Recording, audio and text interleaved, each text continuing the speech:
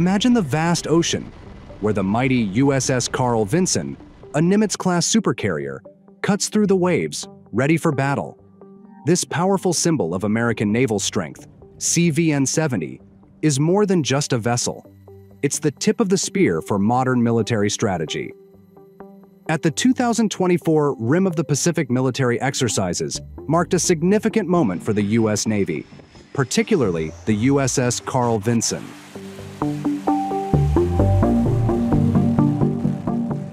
This aircraft carrier served as the centerpiece for demonstrating the Navy's emerging concept, the Future Air Wing.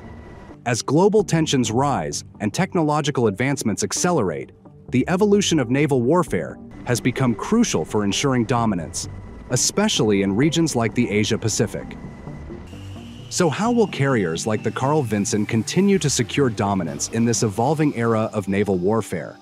What's the greatness of the future air wing concept? Let's find out.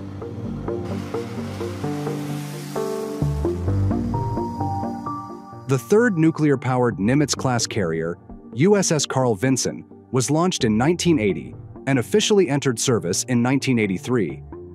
As with other carriers in her class, CVN-70 can carry more than 65 fixed and rotary wing aircraft, while she can travel more than 5,000 nautical miles in less than seven days in support of national tasking.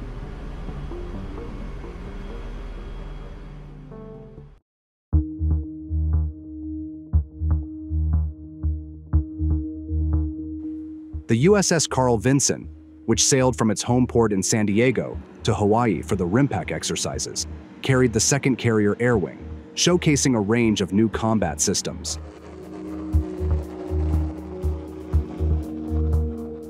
Traditionally, aircraft carriers have been viewed as the pinnacle of naval power, enabling countries like the US to project force far beyond their shores. However, the technological landscape is changing rapidly, and maintaining this edge requires constant innovation. During the exercise, the Carl Vinson highlighted two key components of the U.S. Navy's strategy for the future, advanced missile systems and electronic warfare capabilities. These enhancements underscore the Navy's efforts to address both long-range air threats and emerging challenges from increasingly sophisticated missile technologies.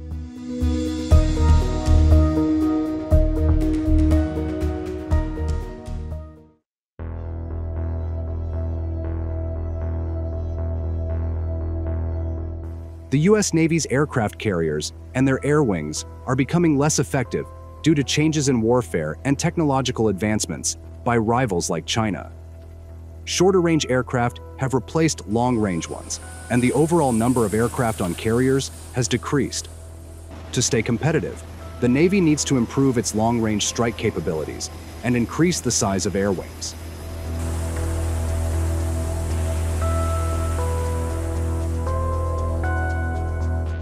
Hence, the US Navy came up with the idea of Future Air Wing.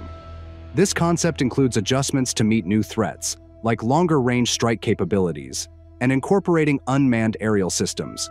It discusses how existing limitations, such as shorter-range aircraft and reduced air wing sizes, may weaken the Navy's effectiveness, and how a future air wing needs to adapt to stay competitive in modern warfare.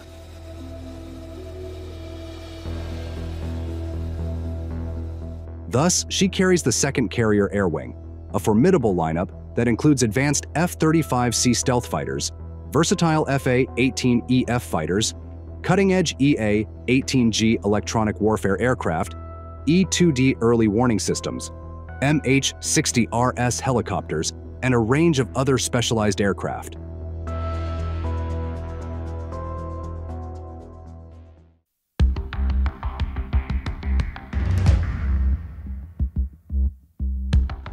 One of the most striking developments seen at RIMPAC was the deployment of the AIM-174B long-range air-to-air missile.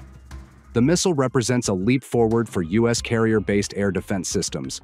It extends the reach of the U.S. Navy's air capabilities by offering significantly greater range than its predecessors, such as the AIM-120D3.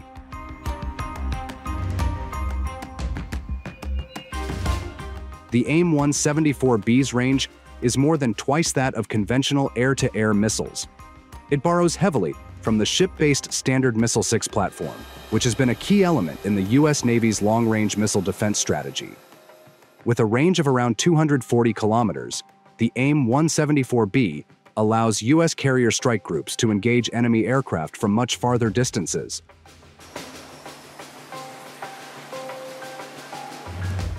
It also supports A-launch and B-guide operations, which enable the missile to receive updated targeting information from other aircraft after being launched. This flexibility could prove decisive in modern warfare, where the ability to adapt in real time is critical to success.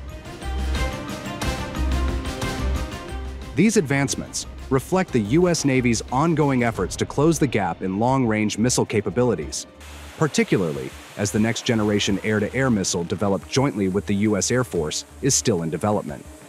For now, the AIM-174B fills a vital role, ensuring that carrier strike groups can continue to project power even in the face of increasing threats from adversary air forces.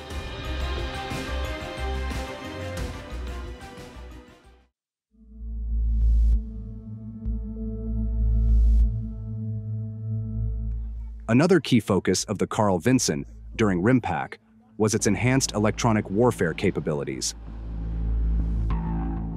The EA-18G Growler aircraft, equipped with the ANALQ-99FV electronic warfare pod, demonstrated the Navy's commitment to both offensive and defensive electronic warfare tactics. This system allows U.S. forces to disrupt enemy communications, disable air defense systems, and even conduct cyber attacks through remote code insertion.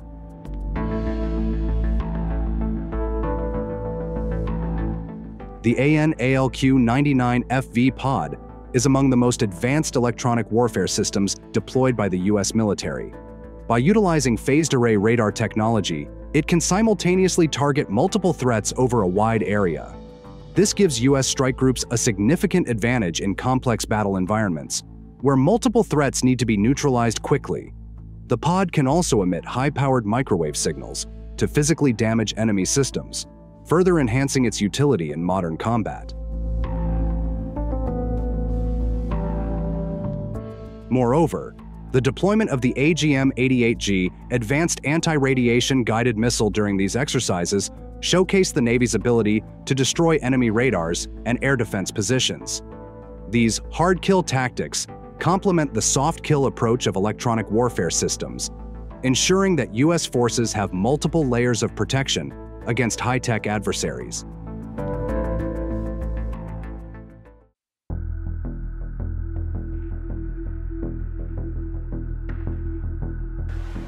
The Navy's future air wing concept is still evolving, and the next few years will be critical in determining its success. The advancements in missile technology and electronic warfare systems are just the beginning. As the US military continues to refine these technologies, it will also need to integrate them into a broader strategic framework that includes greater cooperation with allied forces. One key focus will be interoperability. As the US shifts more of its strategic attention to the Asia-Pacific, working closely with regional allies like Japan, South Korea, and Australia will be essential. By integrating these new technologies with allied systems, the U.S. Navy aims to create a seamless defense network capable of countering emerging threats from adversaries. However, it's clear that these advancements alone won't be enough to address all the challenges facing the U.S. Navy. The future of aircraft carriers, as a core element of naval power, remains uncertain. Whether through further innovations in carrier design, unmanned systems, or entirely new forms of naval warfare, the U.S. military will need to continue adapting to maintain its edge in an increasingly complex global environment. That wrap for today. Thank you for watching.